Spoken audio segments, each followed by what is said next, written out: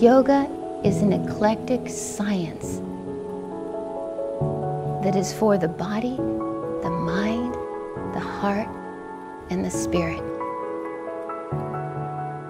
And here at the Soul of Yoga Institute, we'll help you to find your voice through the modality of Raja Yoga.